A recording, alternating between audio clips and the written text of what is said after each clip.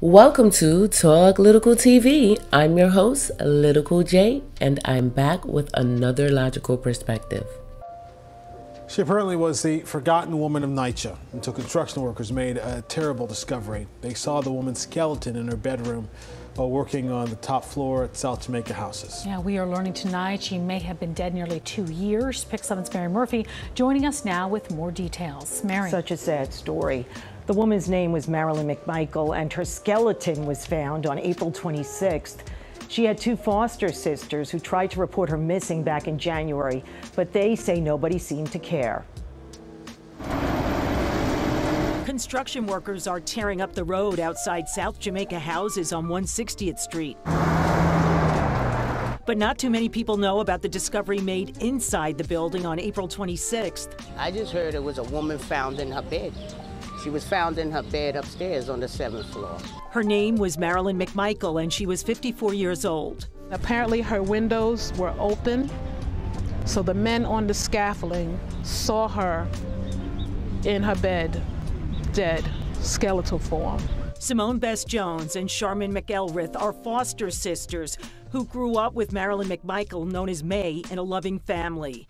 They said May developed emotional problems over the years and called them after the first wave of the pandemic in 2020. She wanted me to take her to the hospital. She sounded a little manic, and I was trying to explain to her they're not accepting people at the hospitals. The sisters say they tried knocking on May's door over the next year. We would never get her to come to the door. Was that unusual or had she done it before? That was not unusual for May. They say they went to the NYCHA office in South Jamaica Houses in January to report her missing. They told us that she hadn't paid rent in over a year. They said that my parents were on the emergency card and I let them know that both of them have been dead for over 20 years. The sisters claim NYCHA personnel and the NYPD cop didn't show much empathy, but eventually took them to the seventh floor and tried to use a master key on McMichael's door. It didn't work. And they never tried again. They said they would. They said they had an investigator that would find her. Marilyn McMichael's sisters told us that three months after they tried to file a missing persons report here at the NYCHA offices at South Jamaica Houses, they received terrible news from their sister's neighbor. Decomposed in, in an apartment. You treat a dog better than that. Pix 11 News paid a visit to the basement NYCHA office. Do you know why they didn't check for three months? When we asked to speak with a supervisor, the NYCHA press office only sent a brief response to my email. Quote, please reach out to NYPD for more information as this is a police matter. The sisters say multiple people need to answer for what happened. She was treated, to me, less than human. So what? She lived in public housing. It should have made a difference. Police told us when they entered McMichael's apartment on April 26th, they noticed the calendar had not been used since August 2020. It was almost frozen in time. The medical examiner had to use x rays to identify the woman's remains. All right, let's get lytical. So, what I'm going to do is I'm going to go ahead and read some of this article that I have in front of me. Okay, so South Jamaica, Queens, the skeleton of a Queens woman who was reported missing in January was discovered accidentally by NYCHA, New York City Housing Authority workers, three months later while they were doing maintenance outside her bedroom window at South Jamaica Houses in Queens. Pix 11 News has now learned the woman Marilyn McMichael, 54, may have been deceased since August of 2020. That's the last time a page was turned on her calendar. Apparently, her windows were open, so the men on the scaffold saw her in her bed, dead, said Simone Bess Jones, one of McMichael's foster sister. The discovery in apartment 7H was made on April 28th. Bess Jones and another foster sister, Sharman McErthel, said they found said they first became concerned about McMichael in June 2020 as the first wave of the pandemic was ebbing. They said McMichael called them saying she wanted to go to the hospital. She had a history of emotional problems, they added. She wanted me to take her to the hospital, Sherman McAree said. She didn't sound sick at all. She sounded a little manic, and I was trying to explain to her they're not accepting people at the hospital. The sister said she was um, she and Bess Jones did go to McMichael's apartment on the seventh floor of South Jamaica Houses and knocked on the door. They kept calling and got no response. We would never get her to come to the door. Bess Jones said, telling Pix 11 News this was not unusual behavior for McMichael. She wouldn't talk to us for years because she didn't want to. But the sisters became concerned as the pandemic stretched beyond a second year. On January 26, McArthur and Bess Jones decided to file a missing persons report. Well, why the fuck they didn't file a missing persons report back in August? Like after 30 days went by and they noticed that they still wasn't able to find her, that's when they should have went ahead and um, filed the police report. So I'm gonna go ahead and stop the article here. Um, key details for me.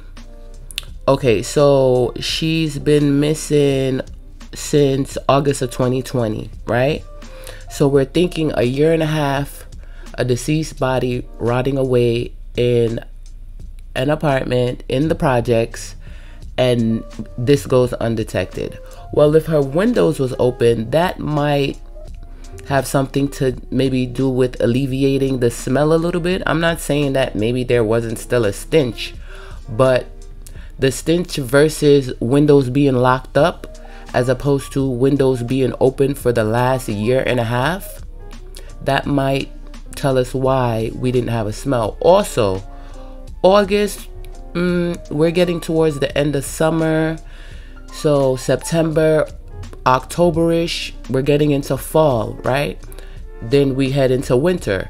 So, pretty much her body was, I guess, on preserve for the next couple of months until it went into the summer of 2021. By then, maybe she could have been decomposed, and this is why the smell or anything went undetected. But here's where a little negligence come in at. New York City Housing Authority is very infamous here for knowing to be the slumlord of the city. They own majority of the buildings here, majority of the projects, and they're unkept, not clean. The workers don't really care about the atmosphere. And pretty much you think she's been missing for shit a year and a half. She's not paying rent. Okay? So if she's not paying rent, then that would prompt the office, the the building office where she resides at, to kind of do a little bit more digging, as opposed to why the rent is not being paid and try to reach out to her, and nothing. Okay, as far as the sisters, they didn't um they didn't report her missing until like six months later, which is weird once August go by, I get it. She had emotional problems. You know, she didn't really talk to them um, if she didn't feel like it. But at the same time, you said she called you and she sounded a little manic and maybe needed someone at the time to talk to. So if she was sounding manic a couple of weeks before you just didn't hear from her again, well, I would think that was the time to report her missing. And I get it. Maybe they got the runaround, or you know, she's an adult. Maybe she didn't run off. Maybe she just don't want to be contacted. Some people are like that. But at the end of the day, reporting her missing six months later, that is just so crazy to me. But um, you know, rest in peace to the lady.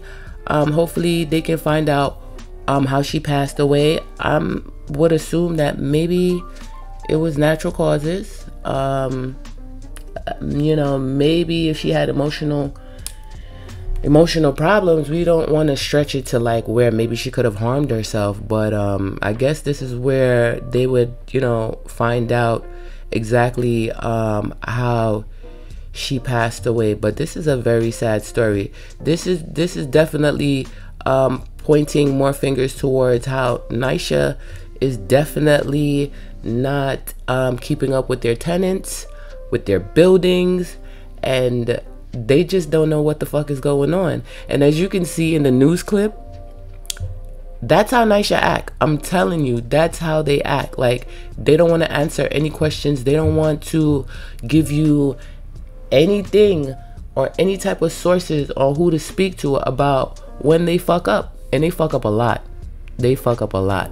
Rest in peace to this lady. This probably could have been avoided. They could have found her a long time ago and give her the proper burial that she needed, but unfortunately she was discovered in a different way.